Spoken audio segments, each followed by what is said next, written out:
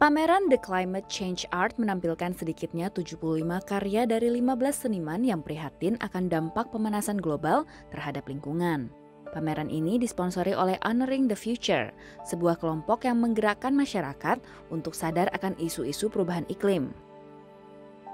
Seperti potongan kertas yang rumit ini, yang menyoroti keindahan sekaligus kerapuhan terumbu karang dan gletser. Dan bagi pengunjung pameran, karya seni di sini menyampaikan pesan penting. The far-reaching effects of what we do as a species and how it's affecting everything else. It's going to be a domino effect if we're not careful. Potongan kaca karya Tuts Sinski ini terdiri dari potongan benang kaca. Di studionya di Providence, Tuts mengerjakan karyanya tentang burung yang terancam punah.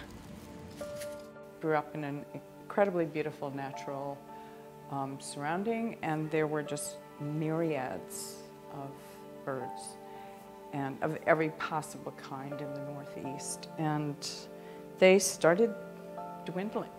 Kreasi Sinski ini berawal dari mesin unik yang turut ia desain. Mesin ini menghasilkan benang yang ia gunakan sebagai bulu burung dalam karyanya. In bird wings, a lot of the color variations do happen because of an almost thread-like crossing of different layers. Ada pula karya Nancy Cohen yang menggambarkan jalur air perkotaan.